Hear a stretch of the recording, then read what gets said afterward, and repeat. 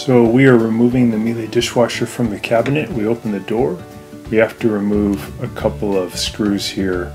The top on the left and right side. Sometimes there's a plastic cap over these screws, but these hold the cabinet into, or hold the dishwasher into the cabinet. We have to make sure we unplug it. And we're going to turn off the water supply. And we could remove also the water line and also the drain line, but usually Miele gives you enough hose length where you can pull the machine out of the cabinet and still have everything connected.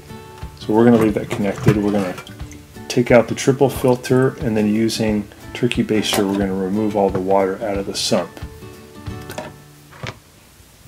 Because when you take it out sometimes you lay it on its side.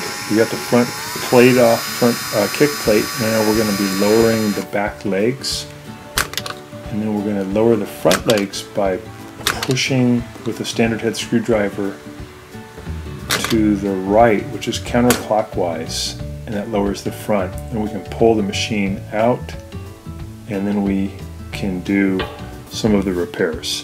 Thanks so much for watching.